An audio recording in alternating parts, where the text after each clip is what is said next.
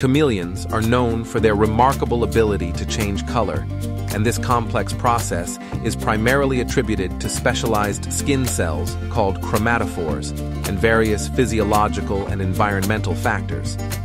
Let's break down how and why chameleons change color. Chameleons have three main types of chromatophores in their skin melanophores, black and brown pigments, xanthophores, yellow pigments, and erythrophores red and pink pigments. They have a unique arrangement of these chromatophores in their skin. These chromatophores contain pigments, and each chromatophore can expand or contract to expose or conceal its pigments, resulting in a wide range of color possibilities.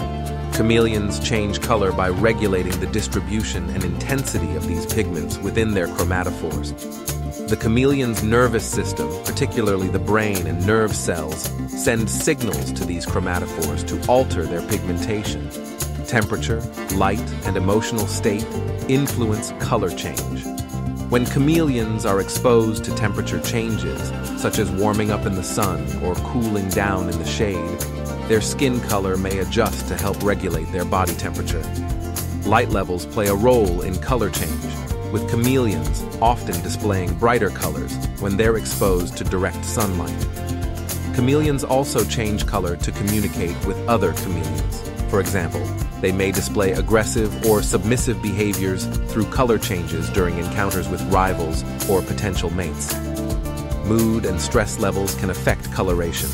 A stressed or frightened chameleon may become darker.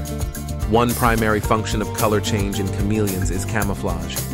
They can blend into their surroundings to evade predators or stalk prey by matching the color of nearby objects. This camouflage helps them avoid detection by both predators and prey. Hormones like adrenaline and melatonin can impact color change. Stress hormones, like adrenaline, can cause rapid color changes in response to immediate threats. Hormonal changes related to breeding and reproductive behavior can also affect coloration chameleon's ability to change color is partly determined by their genetics. Different species have varying degrees of color changing abilities, and some can produce a broader range of colors than others.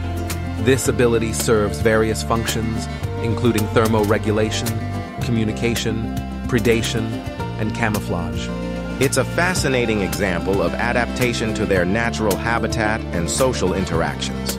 If you enjoyed this video, don't forget to like, subscribe, and share it with your friends.